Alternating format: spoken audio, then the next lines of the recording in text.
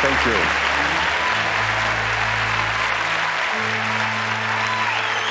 Thank you. Thank you. Thank you. Wow. Thank you very much. Thank you. You, you make me feel like Celine Dion. My, my friends in show business say, You're going around to beautiful theaters like this, giving lectures at universities and museums, you who got thrown out of every school you ever went to? And I said, Well, you know, whenever I get a speaking invitation, I ask myself the question Would the great English theatrical couple, the Lunts, accept? If I feel they would, then I'm your man. I'm on an airplane and I'm here. I recently read a biography of the Lunts where the author speculated that this great pair had, by the end of their career, exhausted the concept of fame itself, something that is quite appealing to me. I, I tell my friends, this is not a lecture, this is vaudeville, and I, am looking for an opening act. If, if you know anybody, like an especially hideous child contortionist, or, or or better yet, somebody that can juggle nude with a heart on, send them, send them the resume to me. In Baltimore, care of Atomic Books, where I get special mail vaudeville's been very important to me. When I was a kid, Divine and I used to hook school and go downtown to the Gaiety Burlesque, and they let anybody in. It was the last stages of vaudeville. They had like baggy pants comedians and strippers with great names like Kim DeMilo and Irma the Body. And our favorite was one named Zorro. Zorro was really butch. She looked like Johnny Cash. and she just came out nude. She didn't strip. And she looked at the men in the audience and said, What the fuck are you looking at? And, and they loved her. You know, we, we love Zorro. I'm here today because of Zorro's example, really. I mean, maybe as a teenager I, I wanted to be Visconti, but as I realize I get older, my career is becoming more and more that of Paul Lynde's. Uh, what, what I really wanted to do tonight was come out and do my entire Broadway musical Hairspray for you, all two and a half hours, sing every song in Pig Latin, as I made exact eye contact with every person in this audience until you're squirming in your seats, ready to rush home and watch the best S&M movie for the whole family, Mel Gibson's The Passion. And you've seen it a million times. You can wear the outfits and scream out the dialogue like you would in the Rocky Horror Picture Show. But since I'm more of a life affirming guy these days, I, I, guess I'll start with my early artistic negative influences. All young people need somebody bad to look up to, and I hope I can be that for you tonight. sort of a filth elder, if you will. When I was a child, the Holy Trinity to me was the Wicked Witch of the West, uh, Rhoda Penmark, the child murderess in the bad seed, and Captain Hook. Uh, I prayed to these people. Uh, the Wicked Witch, I was in drag only once in my life, and that was as the Wicked Witch, and I went to a children's birthday party. And uh, it wasn't so much, you know, I raised a few parents' eyebrows, but it wasn't so much that I wanted to wear a dress, although that is a beautiful Comme des Garçons number she wears in that. because, because I wanted to have green skin, something you can see is coming true. Uh, I, I was the only kid in the audience that didn't understand why Dorothy would ever want to go home. It was a mystery to me. to that awful black and white farm with that aunt who was dressed badly with smelly farm animals around when, when she could live with winged monkeys and magic shoes and gay lions. I didn't get it. when Dorothy would be clicking her heels together, I'd be the only child in the audience sobbing uncontrollably. Now, I pretended I was Rhoda Penmark for a long time, but I didn't tell anyone. I, I watched The Bad Seed over and over, and, and I would uh, go to school, and my, uh, the teacher would say, So, hi, Johnny, did you do your homework? And I'd say yes. But in my mind, I was thinking, Give me those shoes. which is my favorite line that Rhoda Penmark says in the movie. And I'd repeat that line over and over like a mantra, and it would, it would get me into a frenzy of childhood obsession that made me such a happy child, actually. I was doing this act once at a horror convention, and in the question and answer period, a middle aged woman said, uh, Could you tell us a little bit more about the bad seed? And I was telling about the great ad campaign, The Big Shocker, and how it was on Broadway. And finally, she said, Because I am Patty McCormack. And it was like, Whoa! And she came up on stage, and we embraced, and it was great. It was like being on John Waters' This Is Your Life. Now, the only male figure I had to really look up to was Captain Hook. But uh, the Captain Hook of my childhood was the one in the Mary Martin version on television, and Cyril Ritchard played Captain Hook, who I look at it now, he's the biggest queen I've ever seen in my life. You know, I guess I didn't realize that as a child. But uh, I, my parents allowed me to wear a coat hanger up my sleeve for about a year. I just couldn't wear it at the dinner table. That was the one rule. But I went further. I wanted to have long hair like Captain Hook, and so I didn't have wigs or anything. So I would just take my father's ties and scotch tape them to my head. but it didn't work very well. I had to have like mounds of scotch tape to keep them on. I'd turn my head once and they'd fall off, so I'd put more tape. And so I'd have 30 rolls of tape. And we had a cleaning lady once named Clara, and she discovered me with all the ties scotch taped to my head, and she ran from the house and quit. And I just thought, well, good, she walked the plank. I just felt more like Captain Hook. Now, the first director that interested me was somebody named William Castle. Uh, I knew about William Castle because I read about him in Life magazine that he came to the premiere of his movie in a hearse and jumped out of a coffin. I thought, well, you know, I would do that today. Would Godard? I doubt it. Uh, but, but when you saw Macabre, you had, when you bought a ticket, you had to fill out a form, a life insurance policy, in case you die of fright. So as a kid, I thought that meant that someone was going to die at every performance. So I would be sitting there thinking, who will it be? Looking around at the audience. Uh, William Castle was king of the gimmicks. Every, every, one of his movie, he had a gimmick. And so I went to see The House on Haunted Hill. And, and in that, he had a skeleton that in the middle of the movie came from a wire behind the screen over the audience to the projection booth. It was childhood bedlam. The whole theater went insane throwing popcorn boxes. And I, I, tried to emulate this great moment in every movie I ever made. I got close with the eating shit scene at the end of Pink Flamingos, but even that didn't cause the frenzy that this caused. Uh, his next movie was The Tingler, and that's my personal favorite. Um, in that one, the tingler is an organism that grows in your body and gets larger and larger when you're frightened, and the only way you can kill it is to scream. Well, naturally, there's a mute in the film, and. Uh,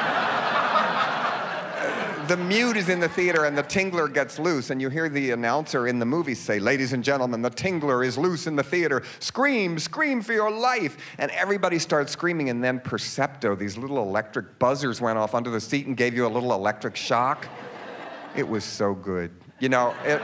When it finally came to the theater in my neighborhood, they only bothered to wire about two or three of the seats. So I'd go early and look under every seat till I found the Percepto buzzer and then just sit there and get my ass buzzed all day long. two, four, six, eight, and 10 o'clock show. And that's when I realized that there could be such a thing as art in the cinema. Then I got serious when the nuns told us about another director, not nearly as famous. His name was Kroger Babb, and to this day, he's not very celebrated. The nuns said, If you see this film, Mom and Dad, you will go to hell. And I thought, Mom and Dad? What's so bad about that? It sounds like a normal movie. So I looked in the newspapers and figured out that Mom and Dad played for seven years in Baltimore. It was such a hit. So I started cutting out the ads for Mom and Dad and made scrapbooks and pretended I owned a dirty movie theater. And I imagined the horror it would cause in my parents' community. And when I finally saw Mom and Dad, the key to its success was they showed the actual birth of a baby, a medical film. And that was the only way in the late 50s that you could see frontal female nudity. So I guess the dirty old men just ignored the baby and looked at the vagina. so it was birth as a masturbation aid that was very, very odd. And Kroger Babb went on almost to invent four-walling, which is when you just rent a theater or a, a, public space and you provide the film and you get all the money. He, he specialized in towns that had no movie theaters. He would rent bingo halls and fire stations and Rotary clubs. And he'd arrive a week early with a car with a loudspeaker on the top that would go up and down the main street saying, coming this weekend, mom and dad, segregated shows, men only in the evening and women in the afternoon. And he had fake nurses that walked up and down the aisle selling fake sex education literature. And, uh, and in some towns, when he was really feeling nervy, he would put nauseous gas in the vents so people would pass out in the theater. So in the paper the next day, they would have shocked patron taken from mom and dad.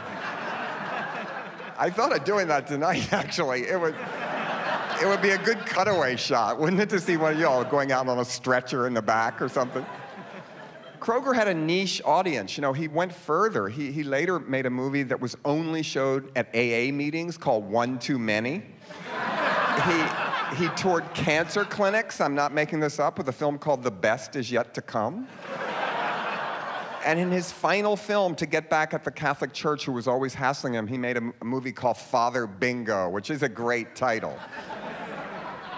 now, how do we use this great example of showmanship of William Castle and Kroger Babb to, to today? Uh, you know, if, if you want to start a college film series, um, they used to have them when I was growing up, and they were great. They showed controversial films. Now they show Star Wars. You know, it's not the same. Um, they don't even show foreign films anymore. I hate it when people say, I hate subtitles. I love them. Even white subtitles in snow movies I like. so if, if you want to start a film society, you have to think of ways to get people to come. So basically, the first rule is let people in free and make them pay to get out. It's an old trick. Drive-ins always used to do it. You make all the money in the concession stand. It really works. Um, if you're showing a movie that's promising a little more sexuality than it delivers, have the ushers be nude one night. Just don't say anything, but when people show up, and just deny it to your school staff, that isn't true. Of course they weren't nude. It's too late.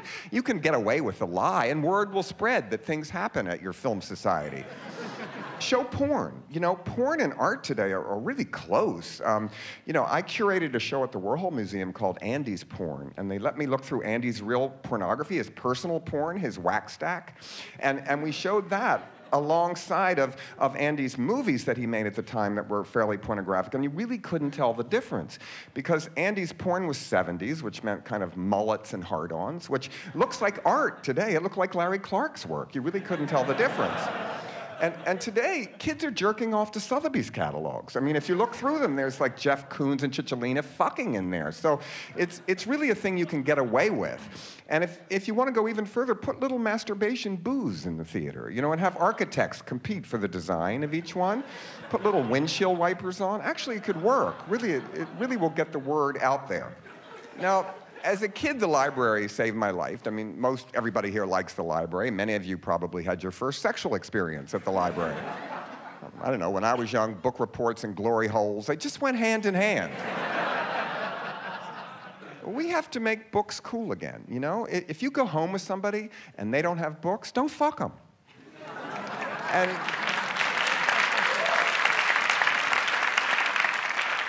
and DVDs don't count either. I, I, had a plumber that came in my house and he looked around. He said, Ugh, do you read all these books? I hate reading. Turning those pages, right to left, right to left, right to left. Oh, God, you know, I, I, I respected his militancy, you know, but. Now, even as a kid, you know, I would go to the library and look in the card catalog and I'd look up things I wanted to read, like the Wolfenden Report or uh, A Hatful of Rain or uh, Freud's Three Case Histories. And it would say, See Librarian. And uh, that pissed me off. And, and so I found out where the See Librarian books were behind the counter and I stole them while they were talking to the regular children. So that just goes to show that if you're a librarian today and a kid asks for naked lunch and he's seven years old, if he's heard of it, in my book, he's old enough to read it. so, we, I think we have to inspire people. So I really think that gay men and women, you should make a New Year's resolution this year to only blow teachers.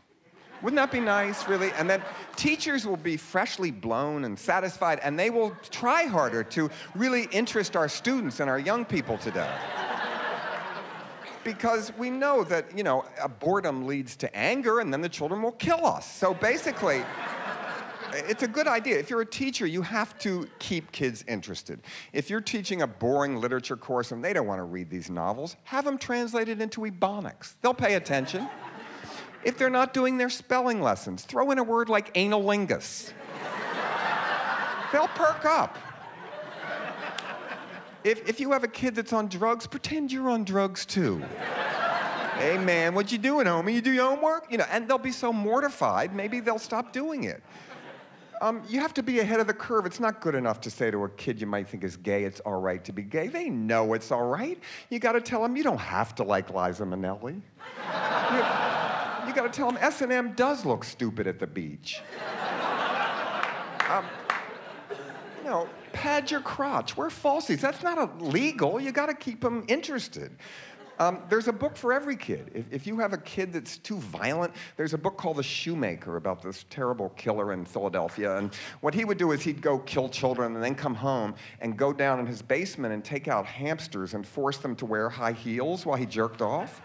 well, give this to the kid. You know, he, he won't go out maybe. Or if you have a daughter that you think is being too promiscuous too early, tell her about womb raiders. This is a new thing that's going on. These women that tell their husbands they're pregnant, but they're not, so when they're nine months, they have to go find a baby, and they follow pregnant women in the mall and they cut out their baby and take it home and said, I had it. Um, you know, there's a great book called Lullaby and Good Night, and this woman cut it out with a car key. This poor woman, talk about a bad day at the mall. You know, and tell your daughter this if you get pregnant, someone's gonna follow you in the mall and cut your baby out with a car key. I'm telling you right now. you, you have to remember, there, you can't commit a crime while reading a book. That's really important to know with children.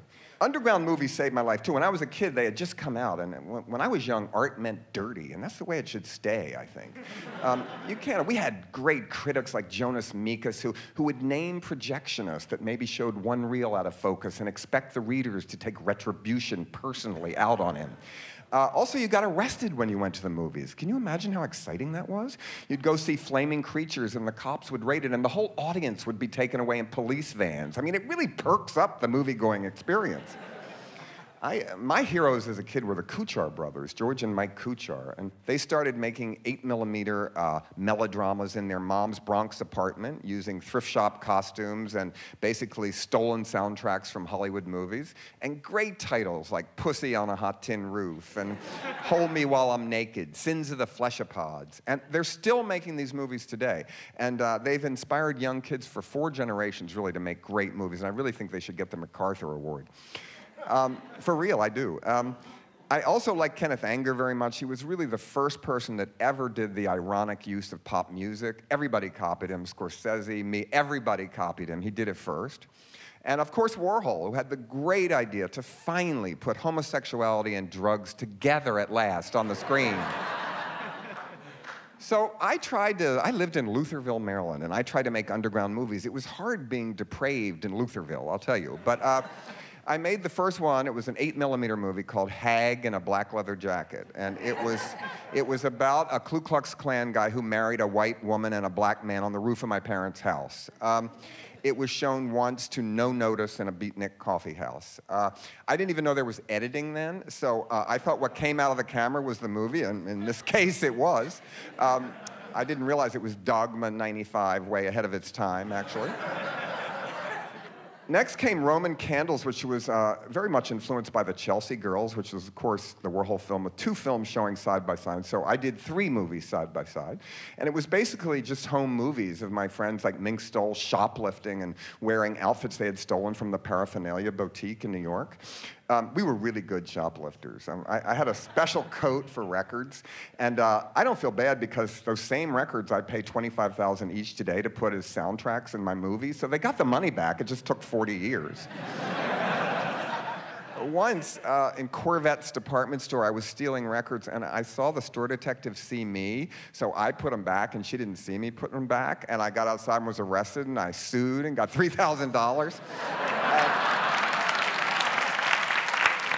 I remember my parents were so furious that summer. They said, Well, you're going to get a summer job? And I said, I want a lawsuit. I don't need to work. And they were like, Oh, God. Um, Divine was really good. I saw Divine walk out of a department store once holding a chainsaw and a TV. Just. no one said one word, actually. Now, shoplifting is kind of passe today. What's in the kids do now is dropping. Now, dropping is not to be confused with mopping. Mopping is when drag queens smash the window of Bergdorf and steal a Valentino dress and run. Um, dropping is when you go to a thrift shop and you find the most disgusting stained outfit and you buy it and then you take it and sneak it in Gucci's window and put it on a hanger in the mannequin and take a picture of it and run it's kind of nice, I think, because it's shoplifting in reverse. It's like, is it illegal even? I'm not sure. It's kind of like making a donation in a way. um, you know, I'm the, I'm the only really director that wishes somebody would colorize his early movies. Um, I, I, I, think Mondo Trasho or Multiple Maniacs in kind of a puke green would add a certain cachet to that when, when we were young, you know, I, I didn't even know what we were doing when we were making those movies. I mean, we made one called Eat Your Makeup. And in that movie, uh, it was about a deranged governess and her lover who kidnapped fashion models and forced them to eat their makeup and model themselves to death. It sounds a lot better than it is. Uh, there's one good scene where, where Divine plays Jackie Kennedy, and we have the full Kennedy assassination where Divine crawls over the trunk of the car and the bloody Chanel, you know, pillbox hat and suit. And, but people really didn't think it was funny because it was two years after it happened. I was still living at home at the time, and my mother said, What are you shooting today? Oh, nothing, nothing, you know. and then the neighbors would come out and go, Oh my God, when they would see it. And Divine's mother found his bloody Jackie Kennedy outfit wadded up in the trunk of her car, and she didn't even know he was divine or we made movies or anything. And she said, What the hell's this? And he was so nervous, he just said, I am Jackie Kennedy.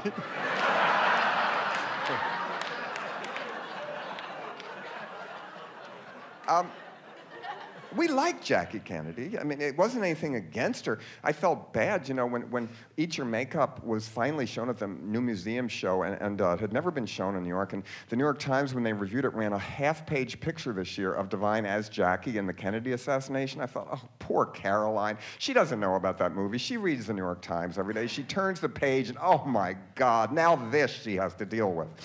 Um, I tried to buy Jacqueline Kennedy's trash can from Sotheby's when they had the big auction.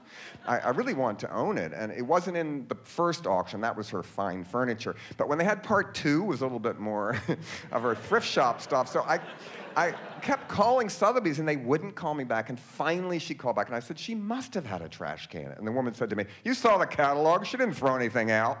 Oh. Melanie Griffith told me the best Jacqueline Kennedy story that when people asked for her autograph, she just said, You'll understand. Which meant, no, you cretin. How could you even think of asking? But people just went, oh, okay. And uh, Jodie Foster has a good one too. I've heard her say, like, uh, they won't let me. And people go, oh, well, who's they? You know, the, the autograph police? Uh, we didn't know what we were doing. When, when I made Mondo Trasho, I didn't know there was such a thing as like a location manager. there's a scene in it where Divine crawls through pig shit and the Virgin Mother appears to him. So we just drove around one Sunday morning until we found a farm that had pigs. and said, okay, get out, you know, and uh, Divine started crawling in the pig shit and the pigs started fucking. And do you know how much I'd have to pay an animal wrangler today to do that?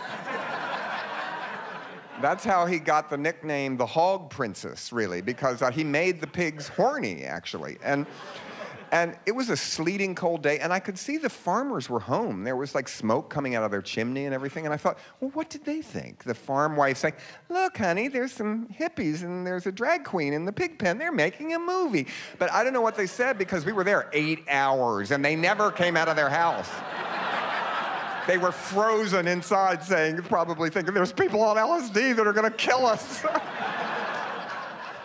we, um, we got arrested making that movie too for conspiracy to commit indecent exposure. There's a later scene where Divine is uh, driving a red 1959 red Cadillac Eldorado convertible with the top down, where she imagines a uh, hitchhiker nude, and Divine is dressed also in a gold lame Toreador outfit. And uh, once again, I didn't ask permission. We just went to Hopkins University that was near where I lived. I thought, oh, they'll be liberal, they won't care. Well, some guard saw us and thought we were making a porn movie and called the police. So, right in the middle of the shoot, there was a raid on the set, cops coming from every direction. Everybody ran in different directions. And the odd thing was, we all got arrested and Divine got away. And you think of it, Divine was driving a 59 Cadillac Eldorado with a top down and a gold lame Toreador outfit with a nude man next to him, and he got away? That, that, that really doesn't say a lot for the Baltimore police, I think. People see those early movies and say, You all must have been on drugs when you made them. Well, we were. um, I don't take drugs today because they're so retro, I think. Um, well, I did smoke crack accidentally this year, but I, I thought it was pot, and I took a drag, and I, oh, I felt like Whitney Houston. uh, But the drugs you all take, I mean, ecstasy, a drug that makes you love everyone, that sounds like hell to me. and I don't have the outfits for a K-hole, really. And, and, and crystal meth, I mean, I read these stories about how in the gay community, people get so addicted, and this started a new part of kind of AIDS that started from this one guy that said he had had over a thousand unprotected passive anal sex this year, and it was only March. you know, I'm afraid to take cold medicine. Um, I tell you, I, the only drug I take is, is one drug I really like, and this is the one I believe in poppers. Uh, sometimes in the day, if it's boring, I just go upstairs, take a hit, and spin around on my office chair, and woo! perks up a day, you know? Uh, when I was young, I used to go to Coney Island and do big hits of it going up the roller coaster, and then when you go down, wow, wow, wow. I had a friend in the old days that was addicted to poppers too, and she used to just hang in the laundromat all day in a sheer outfit, like doing poppers and cruising guys that came in. Hi. I, I have a popper problem. You know, I, have been popper free for a long time, but I went in a sex store and, and I saw these, so I, am I'm, I'm going to give them to you all so you can keep me popper free. Yeah. Um, thank you. um, I think actually the probably the worst taste thing I ever did was a movie called The Diane Linkletter Story. Many of you are too young to remember, but Diane Linkletter had a father, Art Linkletter, who's still alive, and he was friends of Nixon and Billy Graham, very kind of right-wing kind of guy. And uh, supposedly his daughter took LSD and committed suicide while she was on LSD. It was a big thing in the news. All your parents said, "See, this is what happens when you take LSD." So we read about it in the paper that morning and made a movie of it that day. And Divine played Diane, and. I felt guilty because we had the movie in a theater before the funeral. And, uh, but I don't feel so guilty today because recently, you know, the Nixon Watergate tapes are still being released. And in one of them recently, I read the transcripts, and it was about how Nixon and um, Art Linkletter knew that his daughter really had not taken acid for a year before she killed herself, but they never let that out because they wanted to blame Leary and be an anti-drug statement. So I'm really glad I did it. And, and it, Art Linkletter did something even in worse taste. He put out a record called We Love You, Call Collect, after she killed herself. You know, that's worse than the movie, I think, you know.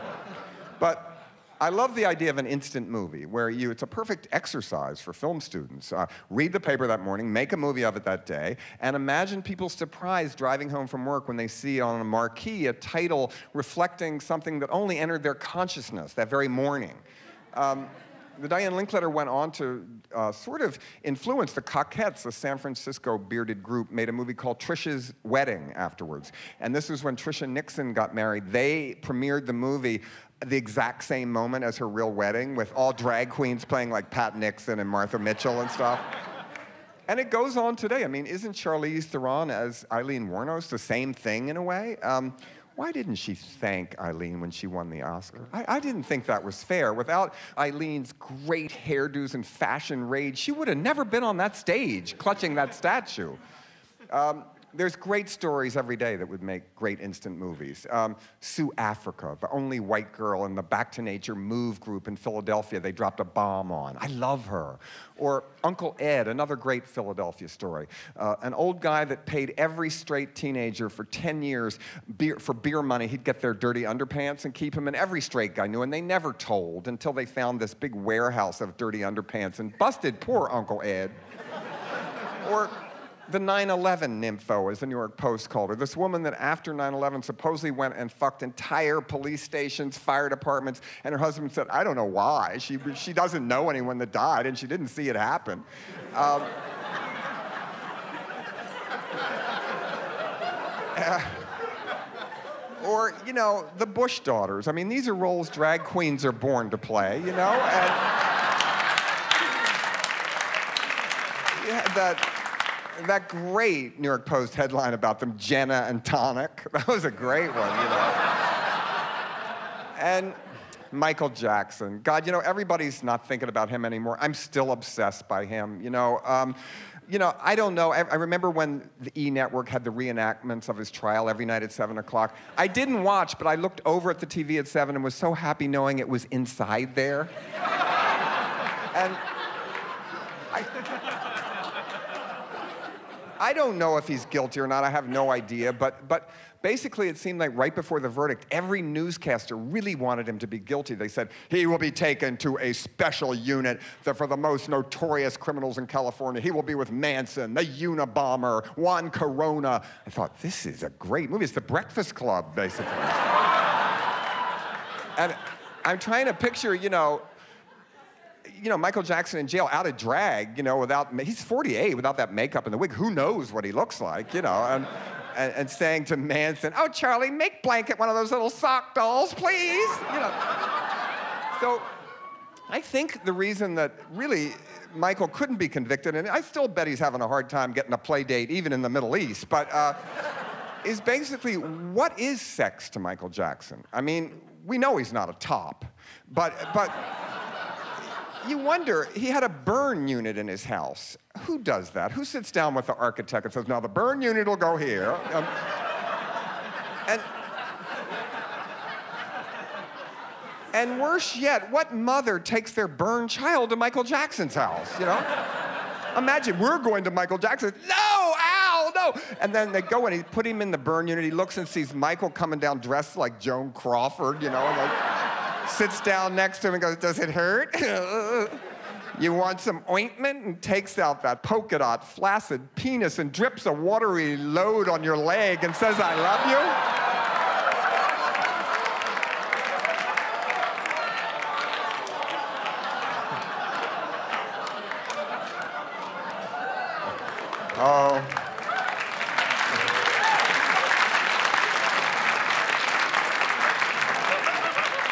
This filthy world, it's a beautiful place, isn't it? Obviously, the most notorious movie I ever made was Pink Flamingos. Uh, Pink Flamingos was, thank you very much, thank you. Before we get to the question and answer period, yes, Divine really did eat dog shit in there. It was not coprophagia, though, because that would be sexual. We did it for, hopefully, for anarchy. Um, if there's anything weird remembering that time that it was no big deal to us the day that Divine ate dog shit, I said it's in the script. He said, sure, I'll do it. And it, I'm not a sadist, it was one take. Um, but what I do remember being strange was, was saying to Divine, there, in the scene where he opens um, a bowel movement gift wrapped, and I said to him, "Would you shit in a box tonight and bring it to the set gift wrapped tomorrow?" He said, "Oh, sure." You know, I mean, would I have asked Melanie Griffith to do that? I doubt it. You know. Um, I remember when the film came out for its 25th anniversary, it became the number two best-selling video in America. I thought, how could that be possible? Number one was Jerry Maguire, and and number three was The Rock, and I, remember that my favorite story is it was playing here at the Angelika, and next door was Anna Karenina was playing, and people that were in Anna Karenina later told me that you could hear Divine next door yelling in the most beautiful love scene in Anna Karenina. You could hear Divine yelling, "Someone has sent me a bowel movement." Just ruining it for everyone, you know.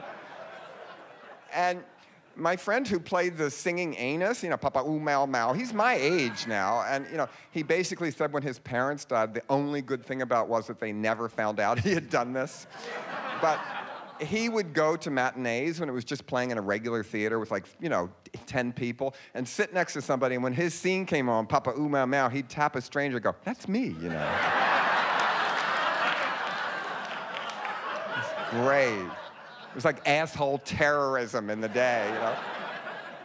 And I later met the woman who now lives in the house where we filmed Pink Flamingos in the Marble House. And I said, Have you ever seen the movie? And she said, I haven't. I said, You should rent it. And uh, the next time I saw her, she went, Oh my God, I saw a Divine licking my banister that I walk down every day. Now, Pink Flamingos was about testing limits. Um, everybody has limits. You know, I, I, I, showed this to my prison class. I taught in prison in the 80s for about six years. And my class was all murderers. And I showed them Pink Flamingos. And afterwards they said, You are fucked up, man. Which was maybe the best review the movie ever got, actually. we all have limits. You know, I have limits. Um, at first, the bear community kind of surprised me. This is, you know, middle aged, hairy, fat homosexuals that find that erotic. You know, all gay people know about that. No straight people know about that. And, uh, you know, bears look for cubs, and cubs look for otters, people that aren't fat or hairy yet, or, but will be. Um, there's a lot of vocabulary, like grism is bear cum. Um, they talk about this is my husband bear and my significant otter. And they talk about coming out of the second closet. That's too much for me. I said, What do you mean? You tell your parents you're a bear? They said, Yes, sometimes we do. And I thought, Oh, come on. Your parents have finally accepted you're gay, and then you come in and say, I have something else to tell you. Sit down. I am a bear. A what? Don't tell your parents you're a bear. God, cruel and unusual punishment. Now, I have big trouble with the adult baby community. I don't get it. You know, I, I, have seen their brochures, and I didn't want to know that you could buy a bouncy chair for a 350 pound man. and they have middle aged men in diapers with hard ons on scooters with lollipops. I'm against this. I'm sorry. They've ruined it for everybody. You know, now, now I see a baby on board bumper sticker. I think a grown man is masturbating in the car seat in the front a lot of limits, you know. Um, have you heard about ultimate nudity? That's when some men take the skin of their testicles and have it removed and replaced with clear plastic on the theory it's more erotic to see how the sperm is made. or, you know, anal bleaching. This is a new thing. I'm not so sure if this is legend or really movie stars are getting their assholes bleached to look younger. I hear this, and I guess if you have a rimmer partner, it's a good idea. Can't hurt, really. And and the one thing that I guess is the worst that I've heard is blossoms, if, if you all know what blossoms are.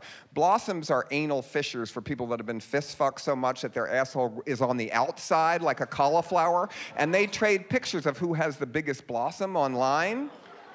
I know. I, can, I know. I can feel the revulsion going back on the rows here. everybody had limits. You know, Divine's father said to him once, You know, I know you make a lot of money wearing a dress. I'm fine with that. Please don't be a ballet dancer. That makes me sick. and even Divine had limits. The first time he met Richard Simmons, he felt homophobic.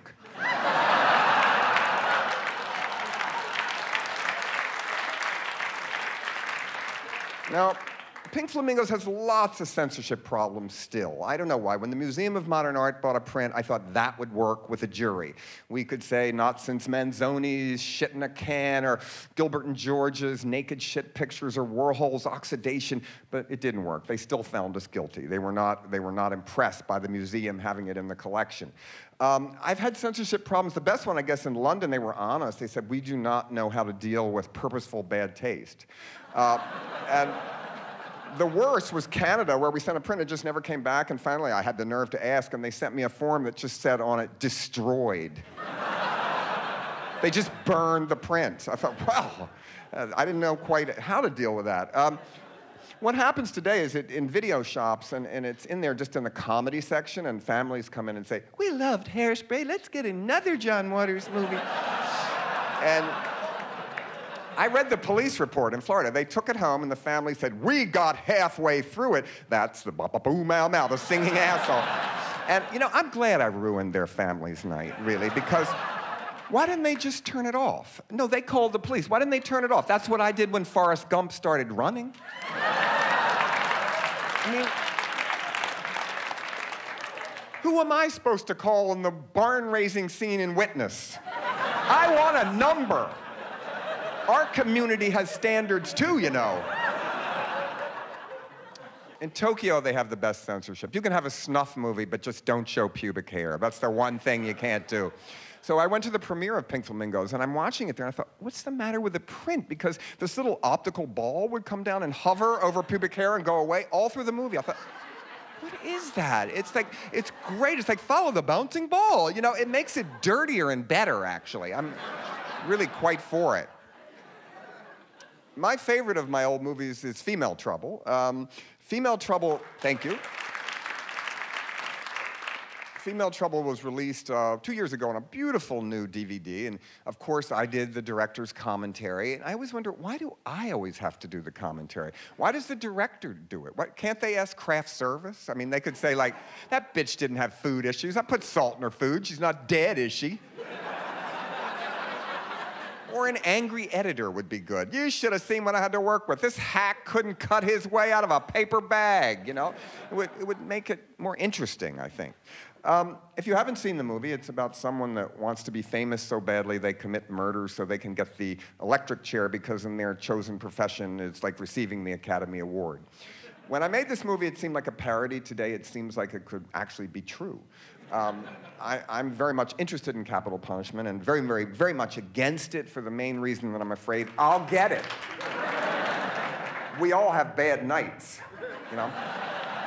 And where I live, you get, they're so liberal in Maryland, you get the choice in capital punishment. You can get either the gas chamber or lethal injection. Well, who wouldn't pick the gas chamber? I mean, you can bang your head up against the glass and scream, I want to live for the press. You know, lethal injection, you waste an outfit. They can't even see what you're wearing.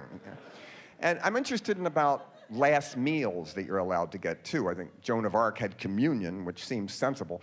But um, uh, my prison class said, man, I'd have a steak dinner, french fries. I said, no, I wouldn't, because when you get the electric chair, you lose control of your bowels. If, if I was on death row, I'd be especially snotty, and they'd say, what, what do you want for your last meal? I'd say, a single leaf of arugula.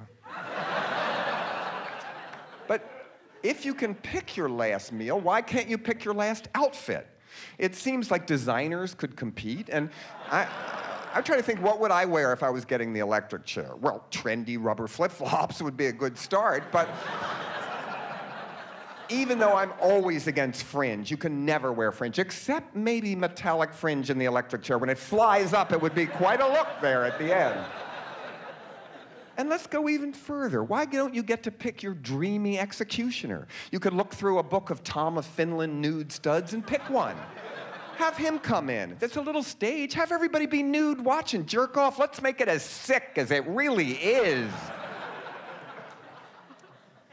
now, I used to go to trials all over the country before court TV made it so accessible.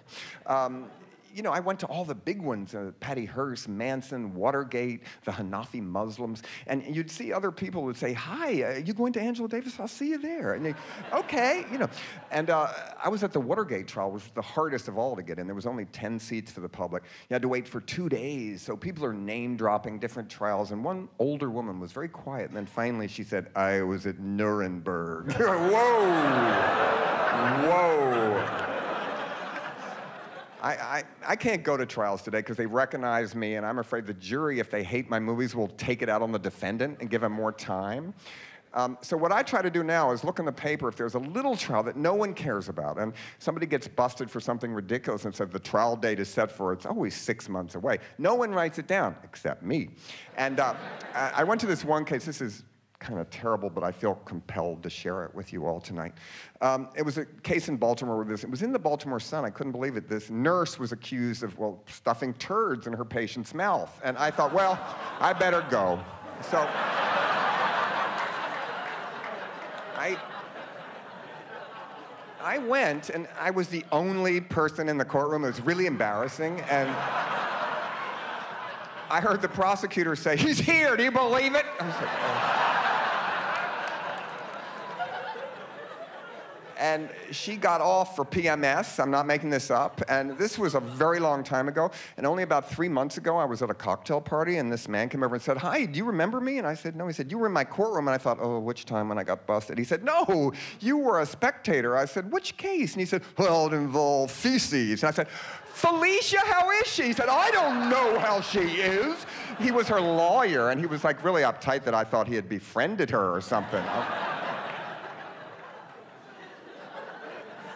The movie, the movie I did that did the worst was called Desperate Living when it came out. It was a, it was a fairy tale about, thank you, about lesbian anguish and mental illness and politics and corruption in a town called Mortville that was made out of garbage by my longtime production designer, Vince Peranio, who did the set tonight also. Um, when this movie came out, lesbian groups stopped it from being shown in Boston at the Orson Welles Cinema, where all my movies played at the time, by saying, How dare a man make a comedy about lesbians? Well, today, it's the movie that lesbian groups bring on colleges all the time to raise money. So um, it's odd how even minorities' sense of humor can change in 20 years. Uh, this film starred uh, Liz Renay, who was first time we used an outside star. She was a real star to me. She was in the press all the time because she was a gangster moll, and she was Mickey Cohen, the gangster's girlfriend, and she refused to testify against him, and Bobby Kennedy really hated her. So he sent her to Terminal Island Prison, where she wrote a book called My Face for the World to See, where she describes herself as perhaps the most beautiful woman of our time. I like perhaps, you know, modesty is important in a friend. when she was released, uh, it was at the height of the streaking fad, and she ran completely nude when she was in her 50s up Hollywood Boulevard, five blocks, and of course was arrested. And uh, in the court, though, the jury found her lewd, crude, but socially redeeming and let her off. She wrote another great book called How to Attract Men, where she had really down to earth advice like be nude and have a bar next to your bed. She, she wrote another book called Staying Young How to Get Free Facelifts. And basically, what you do is you go volunteer to be a guinea pig from people that are learning how to do it. And, you know, she's had a lot. I mean, she has a, a she's always surprised looking, but uh, she's, she's the happiest woman I know. I, I still visit her whenever I'm in Las Vegas, where, of course, is where she lives. And I, I, said to her, Well, what are you doing? And she said, I just made a new movie. And I said, What's it called? And she said, The Corpse Grinders 2. And I said, Where'd you film that? And she said, In my bedroom. this film, uh, it was a time, you know, where we got extras. I, I wasn't a signatory with SAG at the time, and I didn't know the rules about extras, and I think we really defied them because um, how we got extras in those days is we would lure homeless people to Edith's shopping bag, which was a thrift shop, and then take them on like People's Temple type buses out into the woods, and then have the bus leave so they were trapped there, and they had to do nude scenes in November with no food or anywhere to sit. I think that's a violation, or I don't. but so I feel so bad about that that today I go overboard to try to do everything right with SAG when I make movies. Um, after this, like midnight movies were over, video came out, and uh, it changed everything. So I, I, made a movie called Polyester that was, I guess, my first above ground movie that was made not to play at midnight. Thank you. If you haven't seen Polyester, it was shot in Odorama, which meant that when you came in the theater, you got a card with 1 to 10 on that card, and when the, on the screen, when that number uh, appeared, you scratched and sniffed it. Um, I saw audiences in every country in the world, in every language, in every kind of government, pay me money to smell a fart. It was amazing. You'd hear it, and they'd all, everywhere. In the whole world, it's a universal urge to smell a fart. It was amazing to me.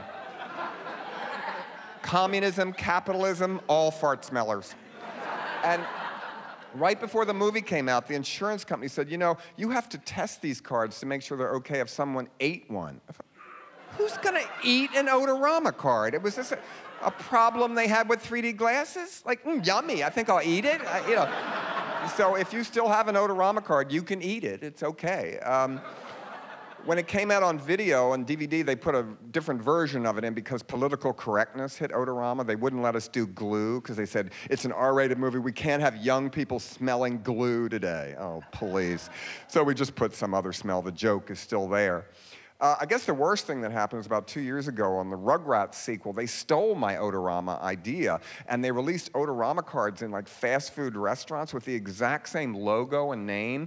And when I tried to cause trouble, I found out that New Line had forgotten to renew the patent, so they got away with it.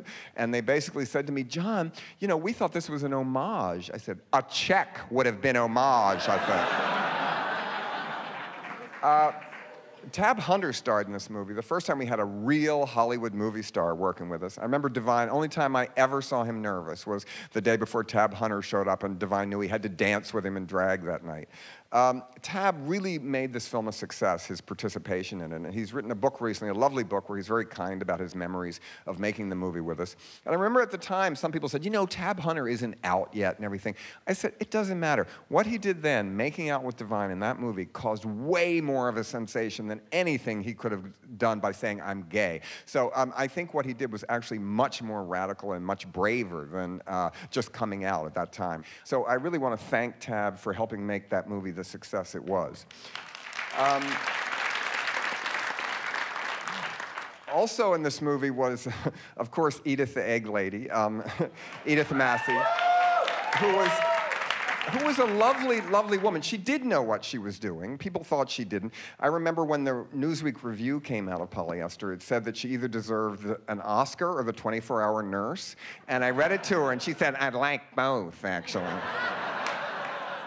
and Edie and I used to do this kind of date together, and we, but we drive by car, and she would drive me crazy because she would say out loud every single thing she saw. We'd be driving along, she'd say, car, house, lawn, pretty lady, red car, telephone pole, lawn, lawn, lawn. I thought, Edith! No, it was, it, it was just internalization was a concept she was very unfamiliar with. And my favorite memory of Edith is she had a thrift shop, Edith's shopping bag, and she only sold what people gave her. She never bought anything. So in the summer, it would be dead months, and she'd be sitting there in Baltimore, August, really hot. And so she would just go through the garbage and gift wrap um, aspirin bottle tops and everything, and then have a grab bag, 25 cents.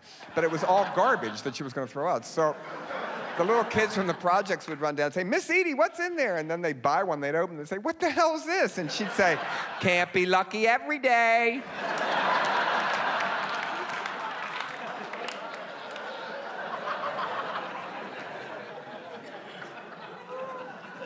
Also in this movie was Stiv Bator, the first time I had ever worked with a punk rock star. He was Stiv Bators then and then became Stiv Bator. Uh, he was great. He was really a nice guy to work with. Unfortunately, he died in Paris when he was hit by a car just in the street. And he was so used to jumping off the stage every night that it was no big deal to him. And he had a concussion. And they always tell you not to go to sleep when you had a concussion. And he did, and he never woke up. And after his funeral, he was cremated. And his uh, girlfriend said to me, Don't worry, I snorted his ashes. Whoa limits, you know. That's hard to do. Have you ever seen ashes? It's not like sand. I mean, there's like knuckles and shit in there, you know?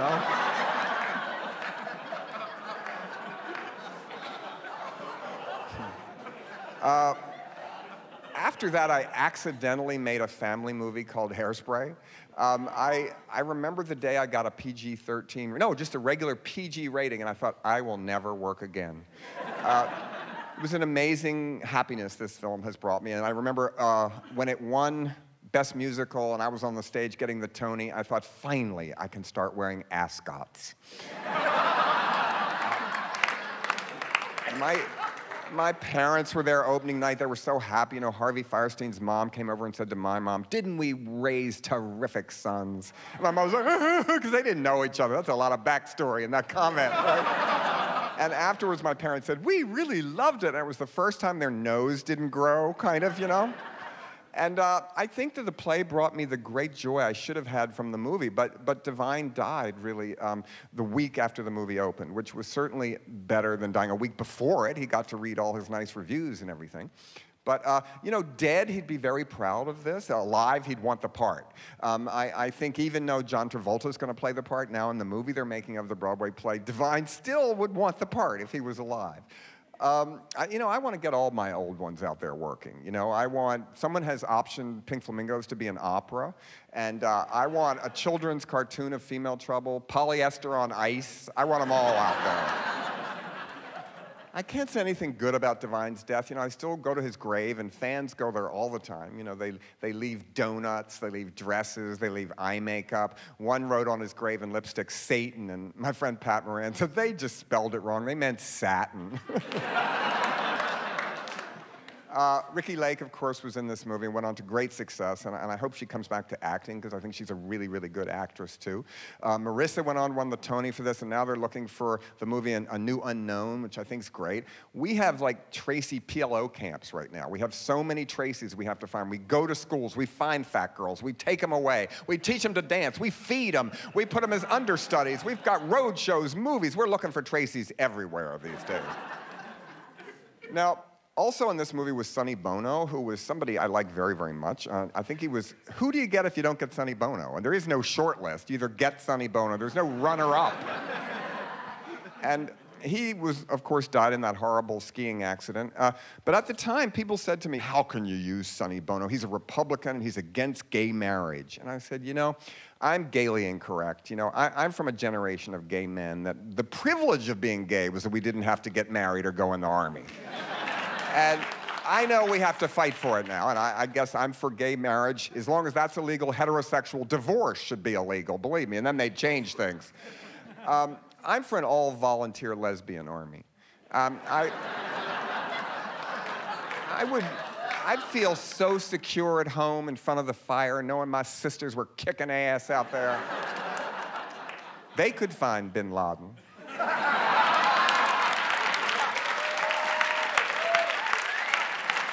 And it's confusing. I mean, today, gay people have more children than Catholics.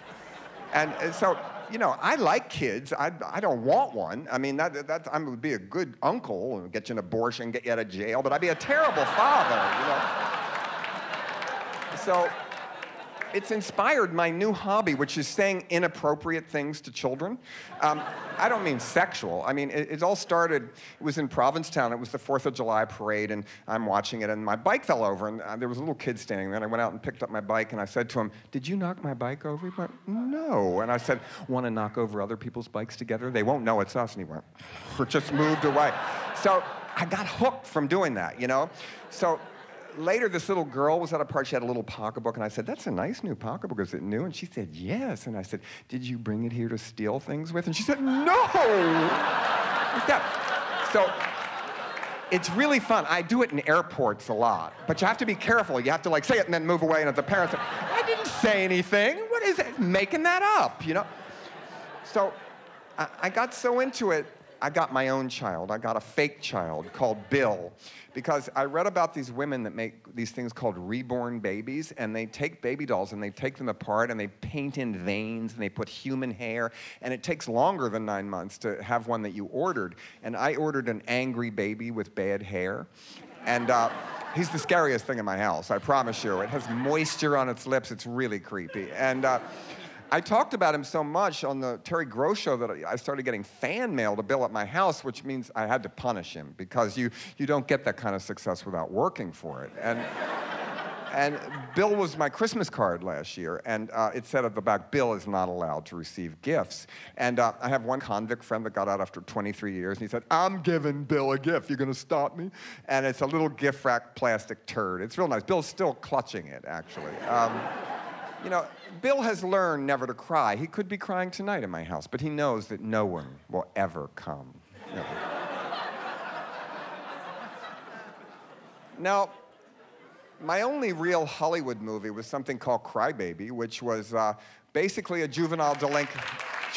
juvenile delinquent musical. Uh, Crybaby is coming out on Broadway next year too. I've heard the music. I've read the book. It's, I think it's going to be great. Who knows?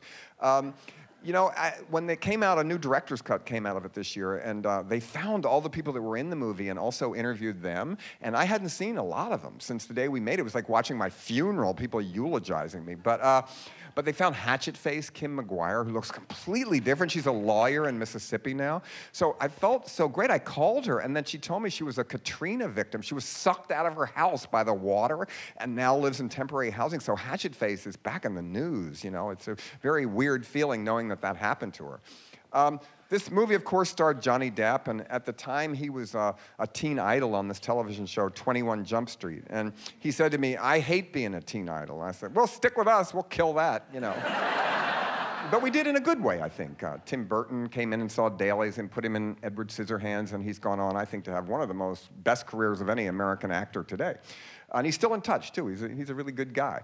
Um, also in this movie was Traci Lords, God knows, my kind of gal. Uh, Traci wrote a book too called Underneath It All, where she's very kind to us about the making of that film. And she was still escaping porn when she came to us. And the feds would raid the set on Crybaby and try to bust her to make her come back to testify against the mob. And she would be sobbing, and Patty Hearst would be comforting her. And we all said, We've all been arrested. It's okay here. and so it was like rehab for her, you know. And I used to travel with, with her promoting the film, and it would be scary. We'd be on airplanes, and the pilot would come out, Hello, Miss Lords. Don't be thinking about her. Fly the plane cops really love her. I tell you, it, you know, she was a sexual terrorist at the time. That's what she was. And, it, and it's funny to see how straight men act when they see her. They're really, really very frightened of her. Uh, she married my best friend's son in a, in a, very traditional Episcopal wedding. And I remember the priest said to her, Have you been baptized? And she said, Yes. I thought, Liar, you're Jewish. So um, I thought, well, I better baptize her because, um, you know, Johnny Depp's lawyers had had me ordained as a priest so I could marry Winona and Johnny. But at the time, I talked him out of it. I thought, well, while I have the power, and I did have a stolen tabernacle in my basement from a church. So I, I, I wrote a special baptism for Traci Lords, and I had her over, and I really got into it. I had black tulips all over the house, and I played this album of castrated altar boys going, yeah, like that and I wrote a baptism for her that wiped out men's piggish behavior and her sexual defiance, and she started crying. She was really uptight. But it worked. It was a big load of original sin, I promise you, and it's gone forever. Uh, Patricia Hearst was in my film, God knows. You're really a very valued member of my repertory group. Uh, uh, Patty Hearst was innocent. You know, what she said was always the truth, and nobody believed her till the very last SLA trial when she went on Larry King and said, I'm not afraid of the SLA. I, I, if you make me testify, I'm going to tell what happened. And they all pled guilty the next day. Um, I think that the state of California actually owes her an apology. Um, I'll tell you, no one's ever going to tell Patricia Hearst what to do again unless it's a film director that chooses his words with care. Uh, I think we need to bring back juvenile delinquency. You know, we just have wilding now. It's not exactly the same. Um, I try to tell kids how to be juvenile delinquents, but it's hard. Race used to work, but now all white kids want to be black. So that doesn't work. But black kids can listen to middle of the road country. That'll get your parents nervous. and if, if you're a white kid, start talking about wanting to go to Albania to study folk dancing. That will really make them uptight we have to make it cool to be poor again. You know, uh, when I was young, we wanted to kill the rich. We wanted to be rich at 40, not 20. So I try to tell kids about welfare fraud. It's really fun to do. You know, uh, we always used to do that. You, it's easy now. I bet you go to a city. We don't have any money. We're starving. We have diseases, and then they give you they give you emergency food vouchers, and then you go buy crab meat and have a dinner party and watch people have a nervous breakdown on the checkout line when they see you paying with emergency food vouchers. Ha ha ha! Get the parsley!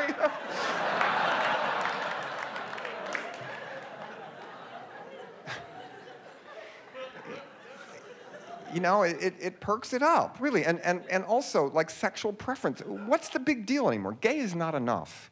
Um, it, it's a good start, certainly, you know.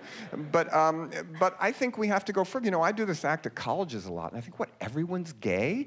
But they're only gay in rich kids' schools, not poor kids' schools. So I realize a lot of people, mostly women, are transsexual. You know, but I don't get how they eat pussy for politics. It's still hard to fake when you have to deep throat and talk about politics. I tell them, you have to come in. They get really uptight. Come in? What do you mean? I'm out. No, you should go back in. We don't want you, you know? now, I'm not saying that I haven't been a victim of homophobia. I was in a bank teller line the other day, and this woman butt right in front of me. And I said, I guess you're gonna butt? And she said, I guess you're a fag. And I said, I guess you're overdrawn. And she was. I, what gay people have to use is humor as terrorism, the way the yippies used to do. If you have a local politician that's voting against gay marriage, send the skankiest drag queens to his house and have him yell fashion insults to his wife. It'll work. or get some meth gay guys and have them hide in the woods and scare a Boy Scout troop. They deserve it. now, after Crybaby, well, came Serial Mom, which. Hmm. is a movie that is about how much fun it would be to kill people if you could get away with it. Everybody has things that get on their nerves every day that you'd like to punish. I have two. One, people in airports that do their exercises at the gate. I hate these people. We're waiting for a plane, not a trainer, asshole. We know you're healthy. Sit down and shut up. Another thing I hate people that say picture instead of picture. People say, Can I take your picture? No, you can't. Mine is home in the kitchen. I use it to pour milk out of. And people say, John, that's really being awfully elitist. That's a, a local thing. It's not a local thing, it's a stupid thing. Don't say it. Kathleen Turner was in this movie. She's great to work with. Believe me, meeting Kathleen Turner is like going to prison. Show no fear and you'll do great. Uh, she was great in Virginia Woolf on Broadway. I think it was one of the amazing performances. And, and I, I think she's really lovely in the film. I remember the first day of rehearsal. I always have rehearsal in my living room in my house. And Mink Stole and her were running the lines. And I heard Mink Stole call Kathleen Turner a cocksucker. And I thought, finally, my worlds have come together. And only last year I met Boy George, and I didn't know Boy George. And he said, Well, call me on the cell phone. And I did, and he didn't answer, but his answering machine says, Cocksucker residence when you pick up, which really surprised me. Um, after this movie came Pecker, and, and Pecker is my really movie about, my feel good movie about contemporary art, pubic hair harassment, and talking virgin mothers. Uh, my, my favorite review we got was in the Japan Times. It said it was a Disney film for perverts. Uh, I like contemporary art very much. I collect it and I have my own art shows. And, and I tell all the people in the art world how lucky they are because in the film world, we have to pretend that every person's going to love our movie. Where in the art world, if every person loves it, it's terrible. And you know, suppose artists had to test their work like we have to test our movies. Suppose they had a testing for collectors, like eight collectors, and they'd show them the work like Nan Goldin's, and a collector would say, "Can't they just do marijuana and not heroin?" or like show them a Gursky photo. It's too big. It won't fit over my sofa. now, I, I tried to address an issue in Pecker that's very important is, is that why don't young people vote anymore? In the last election, really, they didn't. And I think I've figured out why, is that they're so badly decorated voting places. Can't they fix them up a little better? Those voting machines look like bad peep shows, and it's you just walk in, it's so dreary, and people dress so frumpishly when they vote. You don't have to do that. When you vote next time, wear something skin tight, something low cut. You know, when you're waiting in line, cruise people. and when you go in that booth and you pull the lever, touch yourself. it really makes it more un American and more fun. Now, the only thing better than making a movie, I think, is to think up a new sex act, which I tried to do in Pecker. Um, I had teabagging. Um, teabagging is when you hit your partner in the forehead with your testicles. Um, it's, it's, a fleeting moment. It's, you know, it's a, you can't get pregnant. It's safe. Um, all women have been accidentally teabagged when their, if their husband climbs over them in the morning to get out of bed and go to work, basically. Uh, where we filmed this was a real bar where the, once the movie came out, they had teabagging contests every night, and they had different steps. The Lipton, the flow-through. And, and I would go there, but it was torture because they would all come over and try to teabag me, so I'd be leaving like with like bruises all over my forehead. But I was saved because they changed the law at this place and they made it so that you could now dance naked with hard-ons. And so now it's called helicoptering. They go whap, whap, whap, whap, whap, whap, whap, whap, whap, whap, whap. So it was no more teabagging, all helicoptering at all the time. Now, after this came Cecil B. Demented. This is a movie about film terrorism. I mean, if you can imagine getting this made after 9 11, it would be completely impossible. But um, I got the idea because I read in Film Threat magazine they had a joke about that their readers should attack the readers of Premiere. And actually, some of them did that, which, uh, and then they had to run a retraction. But wouldn't that be exciting if, if uh, some cities were cinematically tense? I mean, suppose the Angelika's audience attacked the Ziegfeld one night, wouldn't it? it would, really would perk up film-going habits in the city, I think. Um, you know, I, in there, all the people have, uh, in the cult of Cecil B. DeMille, get their tattooed of their favorite director on their arms. And I think everyone should do that. Wouldn't that make dating easier?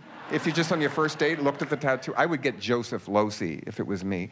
Um, I've noticed recently that people have been getting my name tattooed, and it makes me uptight. You know, I go to a city and I sign their body part, and, and then the next time I come back to the city, they show me they've had it tattooed on.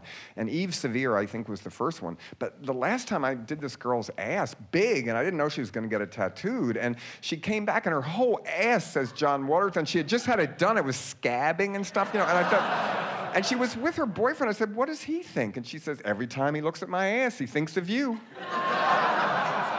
I, I've had scary fans, but I kind of like them. At one signing, I saw this girl coming and I knew there was trouble, and she said, Will you sign anything? I said, Sure. And she whipped her Tampax out, splat down on the desk. I signed it, she bought the book. You know, I held the pen up high, it was my first unsafe autograph. And uh, the funniest thing was that for some reason the bookstore had given me this giant African American bodyguard, and he started crying. he was so uptight when she did this. And I kept saying, she meant well, it's all right, it's all right. Uh, another girl one night said, Would you sign my colostomy bag? I said, Yeah, well, yeah, with a felt tip, no Sharpies, you know?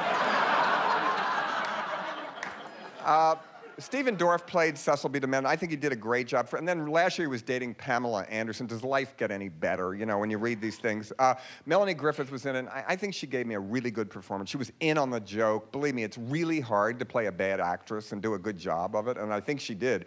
She was in Beauty Schizophrenia when we made that movie because she was also the Revlon Woman of the Year, and in the middle of our movie, she had to be a conventional, like, age defiant. Then she'd come back and Van Smith, who's our ugly expert and has thought up the Vine's look, and everybody in all my movies would wreck her so she'd look like a John Waters heroine. So it was very confusing for Melanie to go back and forth in these two very, very different worlds.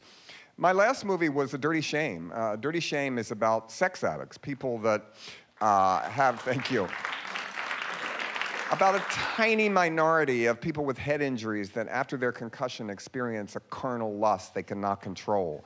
Um, I just read this one sentence in a book and turned it into an entire movie.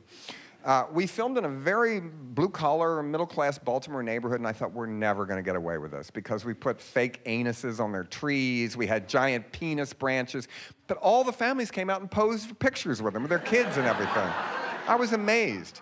And even the head of the community association said to me, Thank you for what you did for this neighborhood. I thought, well, what did I do? Did like sex addicts move here now? I, I, it's just amazing to me. Um, I had a big hassle with the Motion Picture Association of America. My, I feel like my career came full circle. I was as shocked that I got an NC-17 for this movie as I was the day I got a PG rating for Hairspray. I really didn't expect it, and, and my contract said it had to be an R-rated movie. So you have this conversation with the MPAA, and, and I said, well, what can I cut? You know, and they said, we stopped taking notes. Oh, God. And it was a nightmare. You know, I went and appealed it, and this other woman said, Don't spill the cookie crumbs. I thought, oh. But you know, the most frustrating thing is that they were nice. And, and it's, I'm not used to dealing with liberal censors. I'm used to dealing with stupid censors. And these are kind of smart liberal censors, which are much scarier, believe me. And, uh, and they said, well, there's nothing wrong with an NC-17 movie, a movie only for adults. And I said, that's true, technically. And I, but you have to go out there with your lobbyists and enforce the rule. So Walmart will carry it, Blockbuster will carry it, but they don't. They don't back you up on this brand that they want you to go sell. And, uh, and that makes a big, big difference. I mean, even in the landmark chain, like a great art distributing chain, some of the landlords of the local theaters won't let them play an NC-17 movie. So I thought it couldn't hurt me, but it did. And they control the advertising too. Selma Blair in this movie has these giant fake tits. And she could have fake tits that big on the East and West Coast. They had to be smaller in mid America and even smaller in Utah. And I'm not making this up. So, uh, and then the Catholic Church attacked me. I thought, they still do that? You know, I was amazed, you know? And I, I wanted the condemned rating, but they don't have that anymore. It's called O for offensive. Well, duh, you know. But this guy, William O'Donohue, or something, he's the head of the Catholic League, he attacked me personally in this editorial and said, Who is this John Waters? He's a homosexual, and the woods are full of them these days. I I don't think the Catholic Church's woods are too safe to walk in from what I've been reading.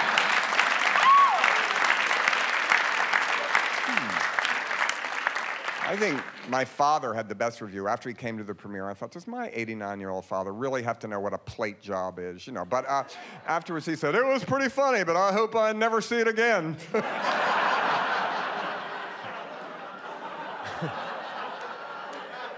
And my mother had a good line before we made the movie. She said, Oh, what's this one about? And I said, Sex addicts. And she said, Oh, maybe we'll die first.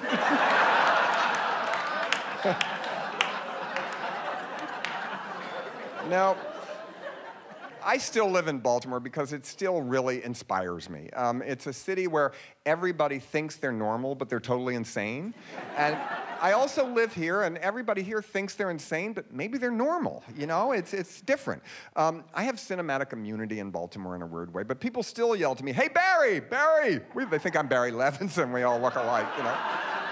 Uh, but I'm inspired there. The first day of spring last week, I saw about a 50 year old woman with a big gut, and she had on a Britney Spears halter top with, she had just had her navel pierced, but it was infected and pus, and she was still walking out like this. I thought, look at her, you know, unbelievable.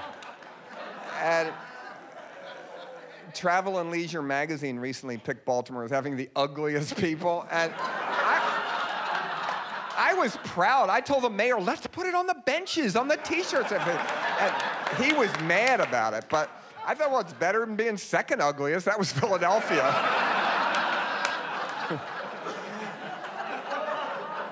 we, we have great bars there. There's one I always take my New York friends in because they can't believe their eyes. It's in a trailer park. And to go there, you go over the speed bumps and you get in and it's a lot of really mean fat girls, and, and they just fight each other, but they don't throw them out. Then they just sit there and bleed and smoke, bleed and smoke. And their boyfriends all look like Eminem and they play gangster rap, but they're hardcore racists, which I really don't get, you know? they use the N word, and if a black person comes in, they change the music to dang me, tell a fake a rope and hang me. It's a really a hideous place, but you gotta see it once. Uh, there's also a jazz bar I go to sometime in a neighborhood called Pigtown, which is not a bad thing to say about this neighborhood. It's what they call it. But uh, the jazz combo, when I was there, had all nodded out on heroin, but everybody else was just going, hey, all right, all right. But they were completely nodded out. There was no instruments or anything. I, I also really like to eavesdrop. I hear the best lines in Baltimore. My favorite one, and this is a true story. This family was walking up the street, and the little kid said, Dad, why is mommy crying? And dad said, Because you're an asshole.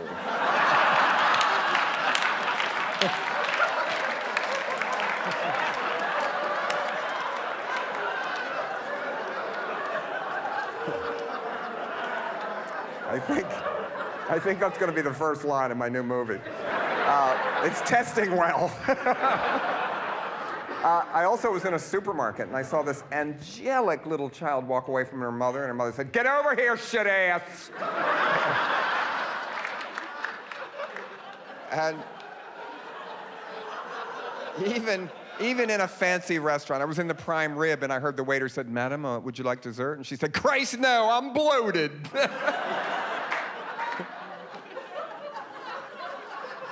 It, it never ends. In a bar recently, a guy said to me, You know, everybody thinks I'm a 30 year old junkie, but actually, I'm a 40 year old alcoholic.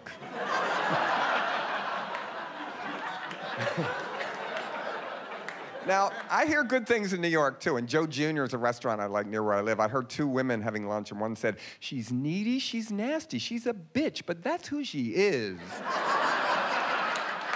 and at an art opening, I heard a woman say, Look at her outfit, it's so September 10th.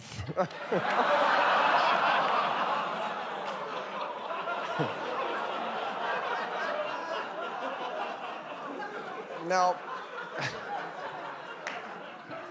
I have to go to LA once in a while too to get money and stuff, you know, and it's, it's, it's always weird when I go there. People say, Would you like to get a massage? No, the idea of a stranger touching me in a non sexual way is horrible, I think, you know? but I, I do go to the Vanity Fair party. It is a great party because everyone's so famous. It's like a joke. And uh, but my I don't name drop in these things. I'm, this is my only name dropping. That uh, my friend went over to Farrah Fawcett two years ago at the Vanity Fair party and said, "Would you like to meet John Waters?" And she said, "No, I would not." so I really felt happy coming home on the plane. You know. Uh, there's a lot of movies I'd like to make, but I, I know they won't let me. You know, I, would love to make a nudist camp movie. I, I, grew up with happy, healthy idiots on pogo sticks with airbrush crotches. That was sexy to me. But I know I couldn't get that made. And, and I don't really want to do a porn movie because after I watch them too much, it looks like open heart surgery to me, kind of. And, and even the titles aren't any good that much anymore. I mean, Schindler's Fist was a good one. but I went to the porn convention recently, and I saw a booth of porn that I didn't know about. First of all, it was really embarrassing. I walk in the porn convention and I go, John, John! I go, oh, yeah, hi. And uh, I go over this booth, and it's all real surveillance tapes, and I didn't know that Night watchmen fuck boxes. Did you know this? I didn't know this. But it's all shots of like a night watchman sitting in a warehouse looking over, and then he goes over and starts fucking the cargo. This obviously happens all the time. So next day delivery UPS, I'd wear gloves when I've opened it because someone just fucked your 24 hour delivery. I, and I said, Well, how do you get their permission? He said, They sign releases. They do? Amazing to me. Now, my hobby is extreme Catholic behavior before the Reformation. Um, that's how I relax, really, reading about this kind of thing. There's a great book called Holy Anorexia The Eating Disorders of the Saints. Uh, it's still in print, University of Chicago Press. And my favorite in it is, is really St. Catherine of Siena. She, she's who I pray to. She was the worst of all. She was against the Reformation. She sold indulgences. She hung out with the bad popes. And her specialty was to go into a hospital, into cancer wards, and rip off scabs of patients and eat it and offer it up to God. I thought, what did they say to her? Ma'am, you can't do that in here, really. You know, uh, I, I, think Jane Fonda would really be good in this part, actually. It would be a really. Um, I'm also interested in Mariolatry. That's the undue worship of Mary, people that worship Mary more than Jesus. And I'd like to do a movie called Manger Mania, uh, where the. Mary gives the virgin birth and she eats the Christ child and then goes on a binge of miracles punishing every person that worshiped Jesus more than her. um, maybe I should make a children's film. Um, you know, I, I like children's films, but I have problems when I go. I, I go to a matinee in Baltimore and I walk up and I say, one, please. And the woman says, this is a children's film, you know. And I say, I know, I know. I go in the theater, Thumbelina, you know, I sit down and I see parents, mothers looking at me. And I know I look like a child molester. I know. I'm, I mean, I'm not, but it looks like Central Casting sent me, basically. So the mother starts saying, Move over here, move, sit over here with mommy. So by the time the whole movie theater's packed, except for all empty seats, an island around me. So I don't go anymore. It's too embarrassing. And it's, it's just not the same at home watching Benji Unleashed by yourself on DVD. It just doesn't have that same feel. Um, I've been an actor in some things. I, I started out in uh, Jonathan Demme's Something Wild, where I played a used car salesman. I guess I was right off uh, typecast. I, here's one I bet you didn't know I was in Danielle Steel's Family Album, where I play a porn director, a big stretch. Uh, I have two out of the three uh, checkout women in the supermarket in Baltimore that wear unironic Farrah Fawcett hairdos. They always say to me, I seen you on Danielle Steel's Family Album. And that is the only thing they know that I've done, really, because it's on late night television so much. Um, I was in Woody Allen's movie Sweet and Lowdown. I was I played a pedophile priest in Blood Feast 2. I was in the last Chucky movie, which was really fun. Uh, Chucky and his son got to kill me. Um, I have a television show that's out right now called uh, John Waters Presents Movies That Will Corrupt You on the Here Network. Uh, it's cable on demand, $3.99, cheaper than a bottle of poppers. And uh, in this, I get to show movies like Irreversible and Porn Theater and Who Killed Pasolini, movies that really 30 years ago I'd be in prison for showing. 10 years ago, I'd be in a mental institution for imagining I could show them on TV. And this year, I had a big launch for it at Sundance. It's, it's still amazing to me. Also, I have a new part in a court TV series uh, called Till Death Do Us Part, and I play the groom raper.